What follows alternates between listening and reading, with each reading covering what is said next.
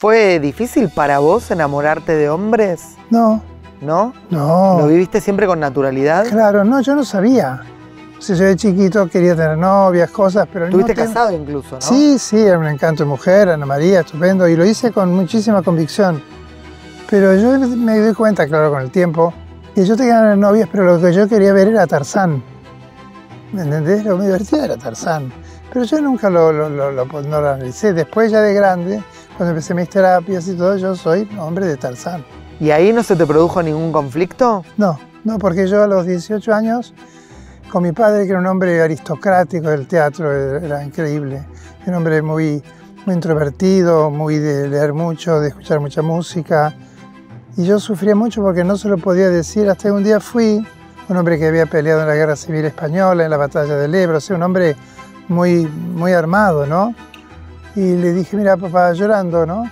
Dije, te quiero contar algo porque no me lo puedo guardar más. Dime qué es. Digo que soy homosexual.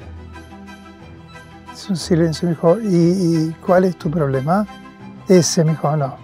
Ese es hombre en la vida, no en la cama.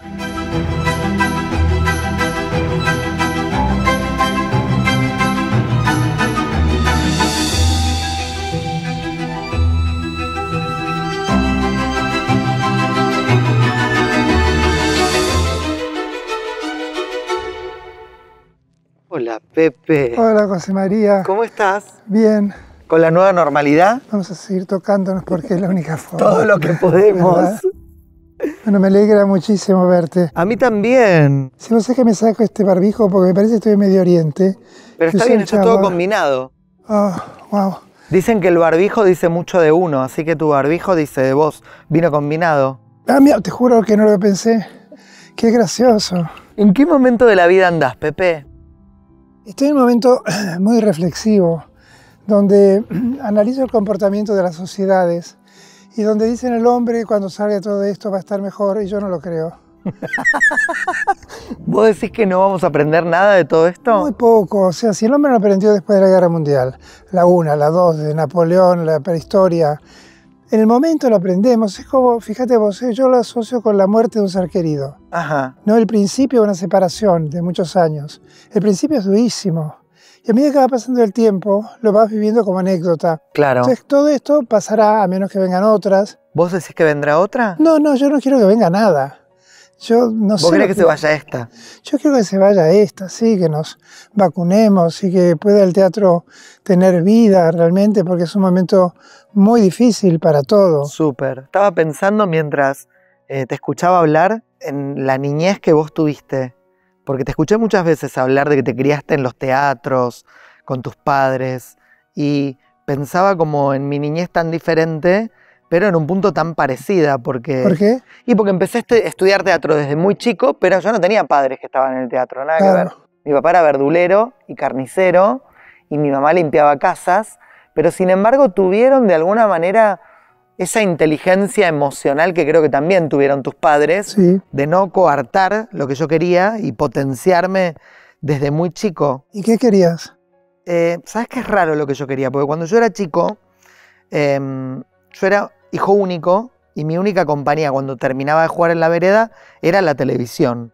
Y claro, la televisión de cuando yo era chico no era la televisión de hoy. La televisión de cuando yo era chico era televisión de ficción, en donde vos no sabías nada de la vida de los actores. Solo sabías los personajes que actuaban. Claro, claro. Y mm, lo que me pasaba a mí era que, siendo fanático de la televisión de la ficción, yo me daba cuenta que quería algo de eso, de la ficción, pero no lo sabía explicar con el concepto de ficción. Eh, y creo que por eso una vez leí un cartelito que decía clases de teatro gratis y fui. Qué lindo. Y cuando entré a estudiar teatro, como que No encontré ese fenómeno de mundos imaginarios. Yo lo descubrí, no sé si lo descubrí, lo, lo viví desde muy chico. O sea, yo di mis primeros pasos en el Teatro Colón de Bogotá y tengo las fotos, ahí ya no había DVD ni todas estas cosas, digo, qué antiguo estoy. Y sí, y, y luego yo terminé mi primaria, mi secundaria y yo sabía que yo quería ser protagonista, tener mucho éxito. Pedía llenar un teatro de 300 localidades. no Pará, más. pará, porque ahí hay algo que me súper interesa. Vos querías tener mucho éxito. ¿Qué es el éxito, Pepe, para vos? El poder hacer.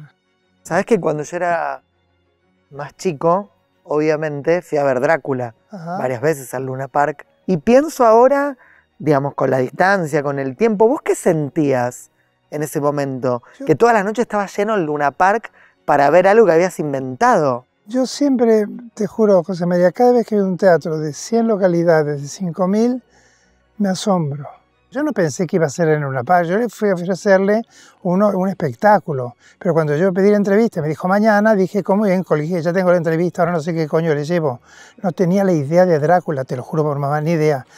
Y fue así, fue así, así. Entonces, como te decía, le preguntaba al boletero, eh, Muñoz, un encanto de persona, ¿cómo va? ¿Cómo va? Y me decía, bien, bien, Pepe, bien, bien. Hasta que ya, hinchado un poco las pelotas de todas las veces que le preguntaba yo todos los días, ¿cómo va? ¿Cómo va? Por esa cosa del actor, el borderó, Sí. ¿no? Te define el borderó. Que va mucho más allá del dinero, porque a veces la gente no lo entiende. No. Uno quiere saber si lo que estás haciendo le interesa al Si- otro. Si te votan. Claro, si quieren Claro, venir a verte, si- claro, si, te quieren. Entonces me dice un día, mira, Pepe, vamos a hacer lo siguiente.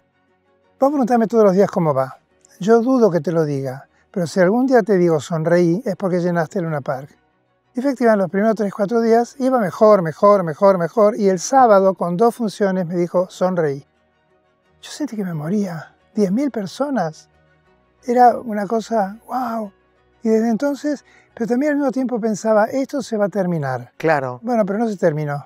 Y siguió todo el verano, y luego siguió 28.000 veces, vino la... Qué loco eso que decís porque me identifica tanto, Pepe. Las veces que hago una obra de teatro que va bien, no sé si te pasa a vos, Sí, cuando se llena siempre pienso, ay, pero mañana no. seguro, exactamente igual. Terrible Sí, eso. o tomo y después, por pruebas. suerte va bien, van bien, Claro, pero siempre pero todos los días pensando... tenés la sensación de que es una suerte que te tocó ese día. Totalmente de Y acuerdo. cuando algo no funciona, Sí, cuando es fracaso, sí, ¿te pones mal? ah, sí, sí, muy mal. Muy mal, no, soy nada seguro. ¿Cómo fue esa historia primera del teatro hasta lograr tu primer éxito?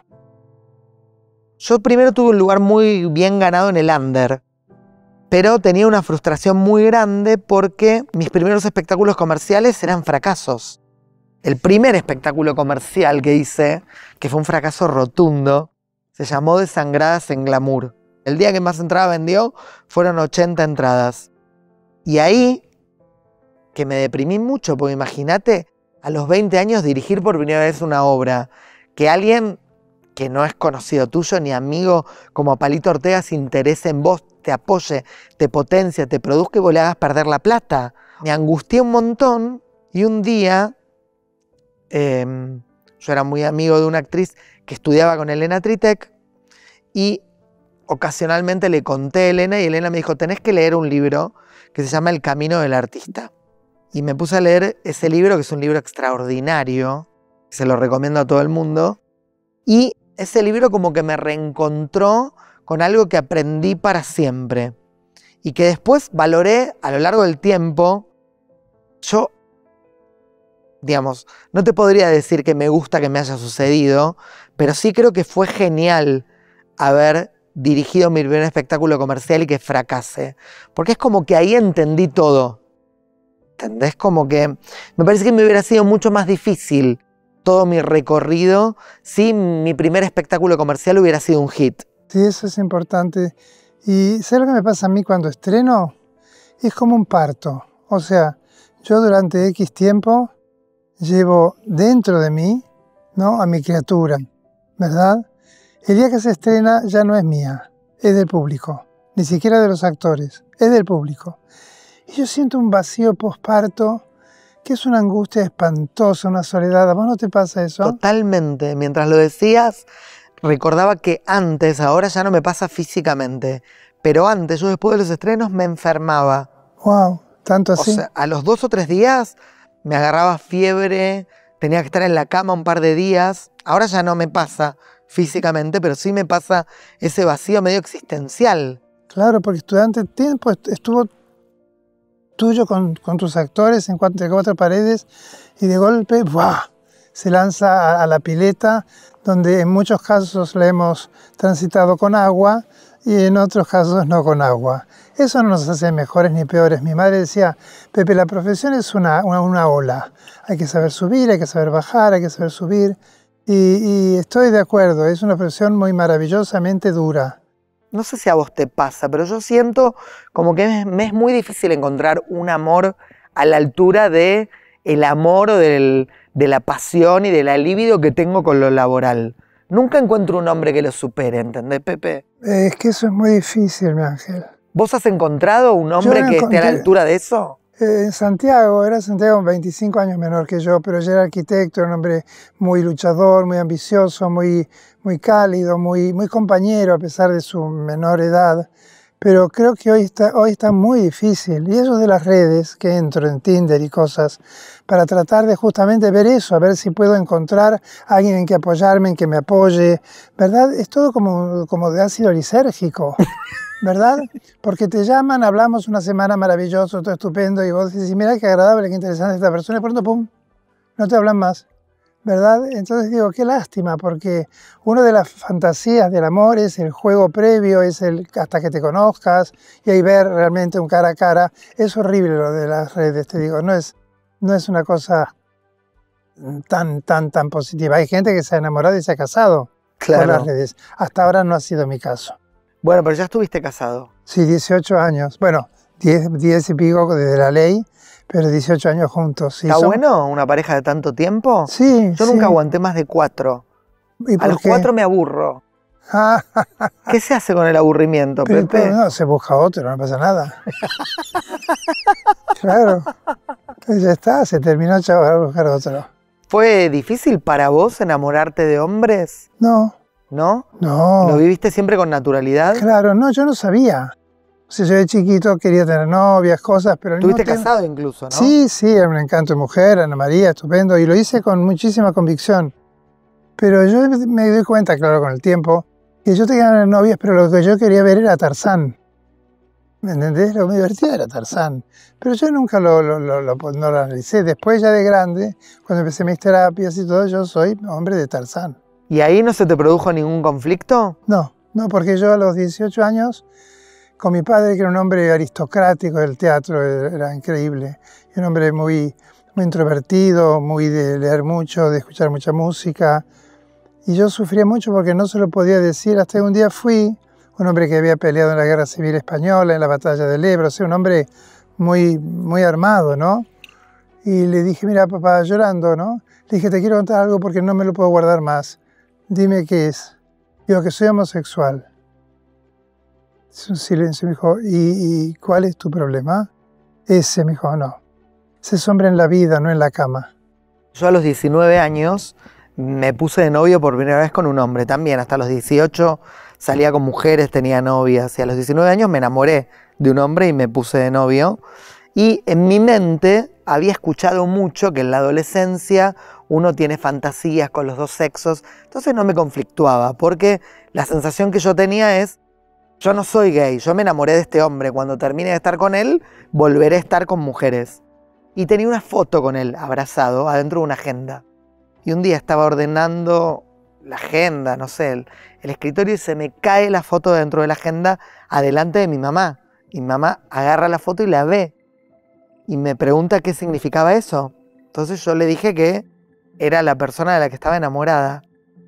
Y es muy genial Siempre lo cuento porque mi mamá inmediatamente se puso a llorar, me abrazó y me dijo, eh, vos sos mi hijo, siempre te voy a amar. Y con tu padre hace mucho tiempo que no tengo relaciones sexuales. es como que se ve que la, la confesión que sintió ella en el momento que aparecía de mi parte le dio el ímpetu de decirme, con tu padre hace mucho que no tenemos sexo. Y además es la empatía, ¿no? ¿Y tu padre cómo lo tomó? Eh, mira, la verdad que con mi papá nunca hablé del tema porque mi papá era un tipo más grande, le llevaba casi 20 años a mi mamá. Y me parecía que si él no lo preguntaba era muy violento que yo le vaya a decir. Pero yo creo que los padres siempre saben, más allá de que uno lo pueda decir en palabras, ¿viste? Pero claro, cuando te encontrás con gente joven que los echaron de la casa, que los niegan. Difícil. qué bárbaro, ¿cómo se van a arrepentir de esto, no? Sí, me parece, bueno, a vos te debe pasar lo mismo, ¿no? Que tuvimos una vida en ese aspecto tan privilegiada que me parece impensado sufrir por la sexualidad o por, por la elección de lo que uno ama, no, no lo puedo ni, ni concientizar. en definitiva, luego, hoy en día más, lo hacen la gente, o sea, la gente no, no, no es que caut- hay gente que comienza a salir del closet. Y digo, qué lástima no tener 45 años y no haber podido ser feliz nunca, más que por el hijo que tuviste o la hija. ¿Está bueno tener un hijo, Pepe? Es fantástico, sí. Además era la única asignatura pendiente que yo tenía. Y encontré en Luis un, realmente un hijo. Es un ser mágico, es un hombre muy comprometido con la profesión, estudia muchísimo, lee muchísimo eh, y es muy comprometido conmigo. Me, me da mucho cariño y una gran compañía. ¿Vos tenés hijos? No, me gustaría tener. ¿Y en los vas a tener? momento. Mira, en, eh, en un momento comencé los trámites de adopción Ah, 15 años estuve yo. Y no. y mm, bueno, fui al RUAGA, que es el ente regulador, viste, de la adopción en la Argentina. Y en su momento, esto fue hace varios años, me terminó decepcionando mucho la situación, porque bueno, para la gente que mucho no lo sabe, son muy pocos los niños en verdadera situación de, adoptabilidad legal. O sea, quizás hay un montón de niños que no tienen familia, pero que no están legalmente para adoptar, porque hay un tiempo, un periodo de ventana en donde la justicia tiene que determinar si nadie los reclama, si la familia. Eh, y por supuesto, un hombre gay tabula muy abajo, porque primero viene la pareja heterosexual, después la pareja gay, después a lo último un hombre y gay, Sí. porque incluso antes va a venir una mujer sola. Lo que pasa es que en general las parejas heterosexuales y contra el derecho buscan bebés, chicos muy chiquitos, porque un chico ya de 7 años, 6, 5, tiene la cabeza muy hecha al dolor. Mm. Es un trabajo muy arduo para los que eh, adoptan chicos grandes porque no conocen el amor. Mm. En cambio, un chico recién nacido de un mes lo conoce porque como si lo hubiesen parido. ¿Vos siempre quisiste adoptar? Sí, siempre. Y no me importaba dos, tres hermanitos. Siempre la posición era que a los hermanitos los, los desprendían del otro, ¿no? Y dije, bueno, si se da así, se da así. ¿Y por qué no, no se articuló? No, sé. siempre quiero hablar, pero Cibrián es un honor, es un honor, ya, ya, ya, ya, ya, ya, ya, ya, ya. Nunca. ya. No, no, cuando a los 65 años me llamó un, un juez, yo estaba en Cafayate descansando de Salta, y me llamó y cuando me elevaba como me hablar el juez yo me puse a llorar porque dije, sé lo que me va a decir, lo sé. Y efectivamente me dijo, mire, yo sé que usted está en deseo de esto, eh, mi, mi, mi, mi escritorio, mi oficina de diputados, es, o no sé dónde. Y, y yo lo llamé a Santi, que está en Buenos Aires también, no para de llorar. Le dije, Santi, no puedo ya. Yo tengo 65 años, él tenía 40 más o menos. Si a mí me pasa algo, bueno, es lo lógico que me pase, así lo deseo. Pero si te pasa a vos, ¿qué hago yo con tres hijos de 17 años? ¿Cómo los educo? ¿Cómo hago? Ya no estoy en momento de eso. Sentiste que había pasado el momento. Sí. Entonces dije, no, yo tengo que disfrutar ya ahora de otra manera. Y, y bueno, y surgió Luis, que me cubre esa, esa expectativa profundamente. Eh, José María, hemos hablado tanto de nuestra vida, de nuestro presente, de nuestro pasado. ¿cómo, ¿Cómo te gustaría que fuese tu final y qué, que, que recordaran de vos qué? Uy, qué difícil. Mira, por un lado tengo una sensación como muy de simpleza con la muerte. Como tipo, si me muero mañana está bien, porque hasta acá estuvo bárbaro. O sea, como que no tengo la sensación de que debería pasar mucho más para que uno muera. ¿Y vos si pensás en la muerte? ¿Qué ¿Yo? te viene? A mí lo que me asusta mucho es la decadencia, porque lo he vivido en mis padres, ahora en mi tía, y, y eso me asusta. La muerte no, no, no me asusta. Eh, como bien dijiste vos, yo siento que el camino recorrido ha sido suficientemente y que ya hay una suerte de misión cumplida. Todo lo que viene es de Yapa. Y a medida que uno va teniendo años y obviamente tener referentes como tu tía que tiene 90, pero yo tengo 72, son 18, no es nada. ¿Verdad? No, hay gente de 90 bárbaro, sí, pero bueno, pero se te van así. Se te van así en dos minutos, tenés 90. ¿Y cuando te pasó lo de los cáncer, pensabas mucho en la muerte? No, no, no, yo no me acuerdo cómo pensaba, te juro, ¿eh? No tengo, yo lo único que recuerdo es cuando me dieron los rayos, que fueron dos meses, y yo entraba como si fuera Disney. Y cada momento yo sentía que crrr, venía el diga, puta madre, te voy a hacer mierda, deja de puta, a la célula, ¿verdad? Y, se dio que, que, que, que le di, ¿verdad? Pero no, no lo viví, pero el primero es el que no recuerdo. No me acuerdo cómo lo viví. Según Santiago dice que lo viví angustiado. Mm. Debe ser. Y uno lo niega, ¿no? Eh, niega todo eso. Y decís, bueno, yo soy un paciente oncológico y tenés la espada de Damocles y bueno, será lo que tenga que hacer. Pero no sufrir. No, no hay que sufrir. Pepe, sabes que para terminar, yo tenía ganas de decirte algo. Sos una persona muy importante para nosotros, para la Argentina. Y no sé si es muy habitual que te lo digan, y no sé si es muy habitual que vos lo incorpores, porque en general las personas que son importantes, que son referente, que cosechan, que abren camino, que dan trabajo, que nos ayudan a pensar y a dimensionar la lucha del diferente, de la sexualidad, eh, y que además tienen una enorme sensibilidad como tenés vos, en general van viviendo la vida, pero mm, no sé si son tan conscientes de lo importante que son para los demás. Así que te tenés que cuidar y tenés que seguir haciendo lo que haces. Qué bello, te agradezco con el alma. Yo no es para devolverte, sino porque lo siento. Vos sos un muy futuro también exponente de lo que es la lucha del teatro, de lo que es la ética, la, el compromiso, ¿no? Y yo te admiro mucho, te respeto, sos, eh, sos divertido, sos serio, sos muy profundo. Quizás esta charla de hoy, aparentemente tan pública, ha sido tan íntima. Sos un sol. Te dejo mucho tus palabras y sí, no me lo creo mucho. Siempre me siento un chico de 18 años que quería ser protagonista y famoso. Lo lograste. Gracias, mi amor.